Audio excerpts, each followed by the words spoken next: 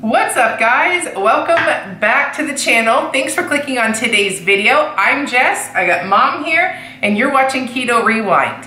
Now, this is gonna be a very thought-provoking video. This video is going to be about what the February monthly challenge is. Now, if you're new to my channel, usually every month we have a new theme Sometimes it's about moving your body, like exercise. Other times it's about food. And other ones it's about learning how to track macros. We do it all here. So this is probably gonna be the best one we've done yet on my entire channel. And that's the only one we've done yes, in, I've never, nature. I've never gone this deep before. So, um, but before we get started, if you're new here and if you like to see videos like this featuring weight loss inspiration, success stories, positivity, don't forget to hit that like button and hit that subscribe button and turn on all of those notifications so you don't miss any videos. Now, and the next thing I want to say really quickly, neither of us are healthcare, I guess you're a nurse, but we're not healthcare experts. We're not healthcare I'm not professionals. the You're health not, profession yeah. today. I'm just We're mom. just speaking on our own weight loss experiences because both of us have lost over 130 pounds. So we're speaking from that experience and that experience will help inspire you to also change your life. So let's dive into today's video. So real quickly, I'm gonna give you a little backstory. October 2020, I was one pound away from my goal weight. I was 180 pounds. The next day, that was a Monday, whenever we started a six week renovation project with my husband, um, demoing tile floors, putting wood floors in, painting, and it was a lengthy, lengthy and very hard project. So I had gained some weight during that. Additionally, we had a deadline to get to because my daughter had a slumber party and we also ten had little girls. Ten little girls. um, so the house had to be done by then. You can't have that with you can't have a construction zone with a slumber party. Also, Halloween was in the middle of that. My um, Thanksgiving was in the middle of that. My parents came into town. Christmas, Kyle's parents came into town, and then it's New Year's. So, and then the January Clean 30 challenge started. So to say I was stressed out or having anxiety or anything like that is just an understatement. so I, I had gained quite a bit because I purposely went off. I didn't have a kitchen because of the renovation project. I purposely was eating out. That got out of control. So once the project was over, I had a reality check and I was now up. I think I had gained 27 pounds or something like that in that six week window. Um, stress eating and eating the standard American diet. So I was already up and then I did some fasting. I tried to right the ship through November and December, but it's the holidays. I didn't focus majorly on losing the weight. So, um, this was probably one of our better holidays, though. Yes, we, we did. Really, we, we, did, did try. Really well this season. we just ate too, I just ate too much. So we, then the you kick off. I now had um, to plan the Clean 30 challenge and to plan all the recipes, make the meal plans, uh, write up all of the recipes, edit the videos, film the videos, literally, literally walk around with a camera constantly so I can get how I make everything. And it was hours of editing, hours of filming, hours of typing, and, and it was like two weeks into the challenge and all I'm getting is people nitpicking every single thing. The haters came out strong.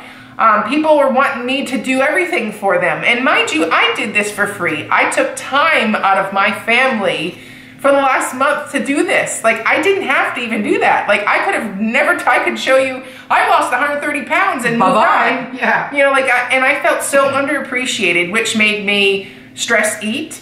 Um, or eat late while I'm vi uh, editing videos at like 11 o'clock at night, wanting to not be in front of a screen, instead, you know, maybe relaxing with my husband, I'm spending my time doing that. And so then I'm, I'm snacking while I'm up there and I'm like seeing food 24 seven. You know, somebody who's a food addict, all I could see was making a meal plan, writing up that meal plan, typing up those recipes, looking at that, the food on the screen left and right. So a long story short, I was ridiculously stressed and I felt underappreciated, but I was not gonna give up because so many people do honestly take this seriously.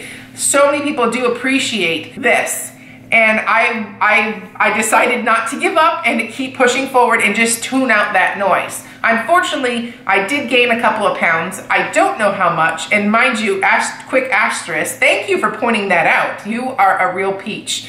Everybody who has made a nasty comment about my weight, you're you're what's wrong with this world. But anyways, most of you have really appreciated this challenge and can understand where I'm coming from. So, with that being said, I'm feeling like I'm drowning in this and like I'm just angry and all these emotions, the anxiety, and then I'm I'm having my own pity party and I'm saying and I'm saying you know, like I, I feel bad because the whole reason I started this channel was because I couldn't find somebody to inspire me. Somebody who was truly morbidly obese, who chose to change your life, to completely become a new person, throw out old habits, make new habits. And I felt like nobody's here for me, you know, and I'm doing this for everybody else. And then all of a sudden it's like, lifeline, I completely forgot. And sometimes when you get so hung up in your pity party, you don't realize what's right in front of you. So, unfortunately, it dawned on me, and mom's here to give me a lifeline. And she, the, the whole challenge for this month of February is fixing this issue. And she's drawing back from what changed was a game changer, I guess, for her. And this month's challenge is the Keto Rewind Toolbox. And my mom is going to explain what the heck is the toolbox and why would we even want this. And this video is just going to be an overview. We will talk about the details of it the next video just to keep this video short and so we don't lose everybody who's falling asleep at this point. So we will give but, you a homework assignment. Yes, for the whole month of February, you each week we will address something in this toolbox. And you'll and, know at the end of one video what you're going to be expected of for the next. And this is going to be that hand that comes out to you and reaches a hand for you because you'll remember the hand that comes and helps you you will always remember that one at that time in your life. So this is going to be that hand that helps pull you out of it and and it's going to be written by you, the best part. So anyways, I'm going to let mom talk about the toolbox and why that was such a significant change, game changer for her in her weight loss story. And then a quick little note, for those of you have not watched my video, I'm not sure which corner the cards is in, I did a video about a year ago with mom about our different weight loss stories. Mom had a gastric lap band in 2008 and lost over 139 pounds or something. And I, at that time, I think I was down 100. But I lost it with um, a ketogenic lifestyle. But the point of the video was to show the goal line was all that really mattered. It didn't matter how you got there, just that you lose the weight and you change your life. One method is not better than the other. You have to do what works for you. And unfortunately, mom was out of time. Totally Surgery time. was the best option for her. I was facing death. And with all the medication she was on, and then I'll put a before photo right here. No, you, you, you said you wouldn't do that. Yes, you said you said you I could. no, we could do the group one. oh, this is a this just speaks volume of where mom, how far mom has come. So, anyways, the reins are for you. All right. okay, as Jess said, um, we often focus and on the negative. On the negative. we bank the negative and we spend the positive. That's pretty much what we do. And this is like, this was the perfect challenge and I'm not It's really like sure. it happened for a reason yeah. to bring this together because right. we've never really collaborated no. other than no. sharing our recipes stories. and stories and things like that. But, but, the emotional stuff we've never really got deep on. Right. And and the reason that that I think finally surfaced is because even in my own journey, yes, I had to do do lots of um, counseling. The program that I was in was absolutely fabulous and um, I had some psychiatric um, evaluations that had to be done. These were things that you had to commit to and were part of the entire inclusive package. And um, so obviously before pre-surgery, there were loops and I mean hoops that I had to jump through. Then we went, I went through the surgery and then there's the other things that you have, you've already committed and paid for. So um, one of those things that we did post uh, journey is the uh, we had to go. We were all enrolled in a bariatric. Um, everybody had had band. Uh, support group that met on a monthly basis. There were other programs like I had to go once a month for nutrition and you know they were really it was an, an, excellent program. So anyway, the one that we focused on in the support group is taught us how to go. Okay, so now what? Basically, that was the answer. So now what? Yeah, you now have phone flat in your face. Yeah. We're getting up, but now what? So now what? We're in already in a you know, and by this time we've already most of the people in the class had already lost maybe anywhere from thirty to fifty pounds. So you know, and if there is an apprehension to like, so now what? When you reach your final weight, I, I think I had anxiety that might have Yeah. been triggered. I was one pound away, like like you're, right, you're at the doorway, you're at what? opening the door, and you've do I got want to like go back it that way, or do I want to jump off Yeah, the cliff? do you want to stay like- with what you already know, or are you going to plunge and, And I think see that what might the have been future? Uh, that might have been a little bit of my stress eating, in addition to Right. So yeah, I, I don't want to go through that door yet. So I'm not gonna do. I'm not gonna lose that last pound. I'm holding on to it forever because I'm not ready to make that. Or if I get there, I'll get criticized or something, and it won't Right. be good enough. Again, it wasn't the right way, or we- it's just yeah. the head. we bank the negative. That's human nature, uh, and that. Uh, just as a little asterisk, that's your inner critic. And if you look that up and do any of your own research, when we bank the negative and do things like that and focus on the negative, um, that's your inner critic. It's that self talk, it's the words you hear, it's how you And they're talk the to loudest. yourself. and they are very. But you know what? The inner critic doesn't always have to be negative because the inner critic also made you stop and not and look both ways before you cross the street. So you have to. Oh, you're about to get hit by a bus. You should look left. you Right. know. That's what a again, thing. you banked your negative, but that negative actually saved your life. So your inner critic isn't necessarily the bad, evil twin sister that's on everybody. You know, the good, the good angel and the bad angel. That inner critic can save your life too. so, with that being said, one of the tools they gave us right off the bat was what they called a toolbox. And in a couple of people on the the Facebook page, we've had engaged in some conversation about that. And basically, February February is the month of love, so we thought this was absolutely uh, the frosting on the cake, if you would, coming off the holidays, coming off the regrets. Plus, yes, you now you've learned how to eat. You've watched my eating for the past thirty days. You know, you saw the results on the scale. Now it's the part Yeah. where okay, so the weight came off. The weight's going to slow down as you go on with your journey. It's not going to be record Oh, sure. numbers every month, you Oh, know. yeah. So the emotional side of Now uh-oh, what? Now you what? now what Yeah. is what this is for. So when you reach that moment, which we all will hit that moment at a different time. Mm-hmm. And you're going to, this is being February is the month of love. Okay. I thought this was the most perfect thing to bring in.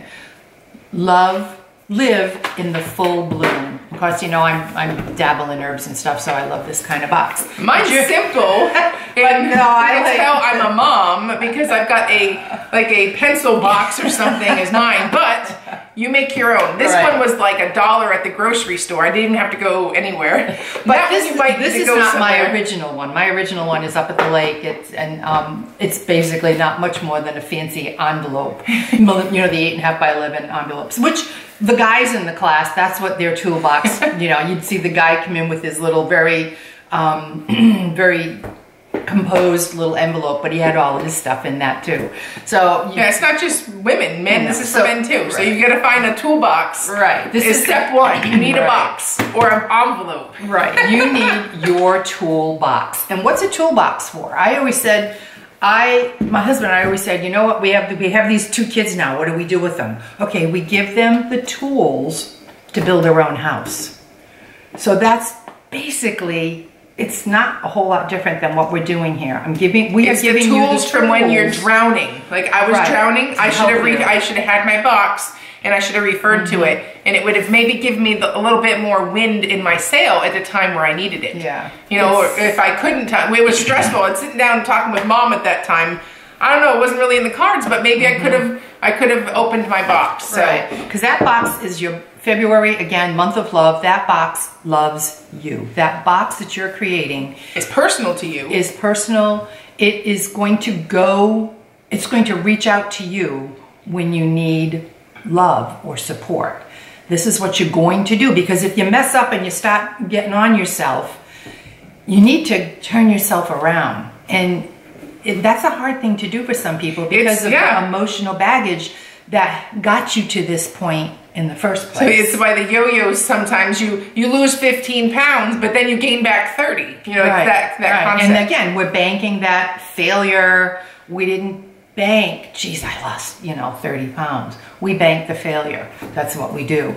And we're trying to get the, we're trying to get that bank book um, with more happy pages, more positive pages. Oh yes, it's not going to be all unicorns and rainbows. You know? Right, It's, right. it's not. And again, like I said before, as is life though. the inner critic can save your life too.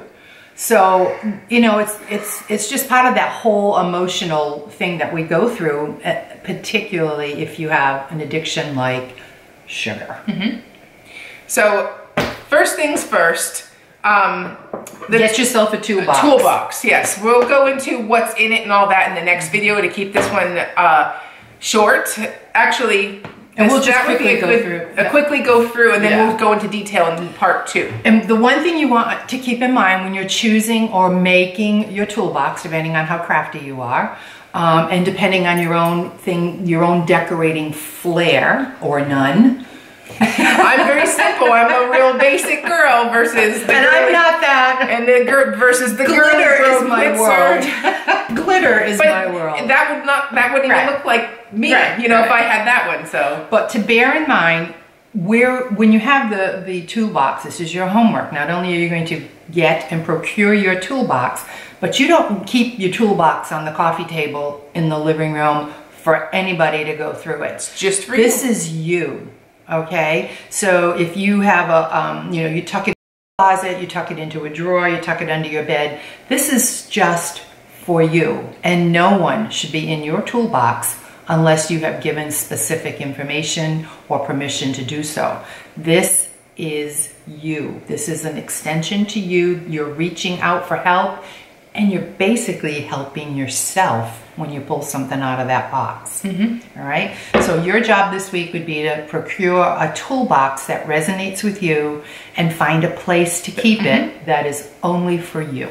And also, while you're at it, get a thing of index cards because you're going to want to write some stuff on this. Um, Mm-hmm. And if you're crafty, get glitter and stickers and you can go all fancy sparkles with and sparkly scented glitter markers and or colored just a Sharpie. markers, whatever you want to do, whatever resonates for you. I guess if it's a guy, you might get electric tape, Yeah, duct tape, whatever, you know. So whatever works for you, um, you want because you're going to be creating things because we have to stimulate all the senses when we're in trouble.